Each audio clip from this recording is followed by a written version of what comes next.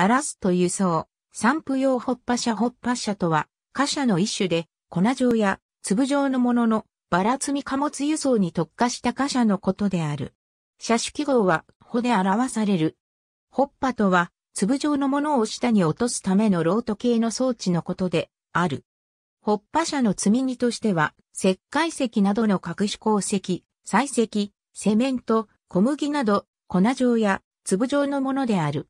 これらを袋詰めなどにせず、バラ積みの状態で、ホッパ車に積み込み、目的地についてから、ホッパ車の下部にある取り出し口を開け、中のものを取り出すことができる。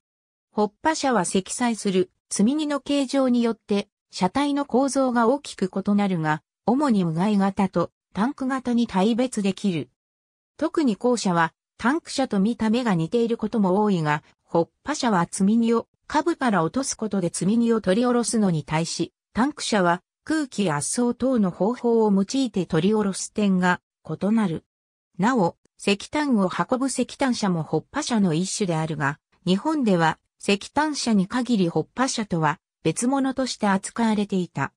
これは初期の採石、鉱石用ホッパ車の多くが石炭車をベースに作成されたこと、それぞれの比重に対応させるため設計が異なること、石炭車が基本的にまとまった量数で運用されることなどによる。ホッパ車誕生以前は、鉱石、採石は無害車や石炭車にバラ積みし、セメント、小麦粉などは袋詰めの上有害車を使用していた。1952年、セメント輸送用の有害ホッパ車が登場した。当初は適切な車種がなく、暫定的にタンク車に分類されていたが、これを契機に1953年、ホッパ車が制定された。多機2200型は、補機1型に改版された。また同時に赤4000系の改版も行われ補機4000型となりこの2形式が日本最初のホッパ車である。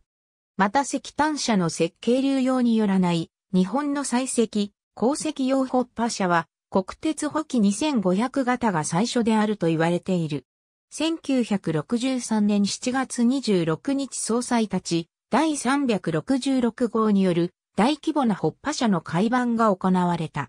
その内容は国鉄貨車の車両形式を1から2999に私有貨車を3000以降とすることになり、形式間の移動が行われた。下記に日本国内のホッパ車の形式と積み荷等を掲載する。ありがとうございます。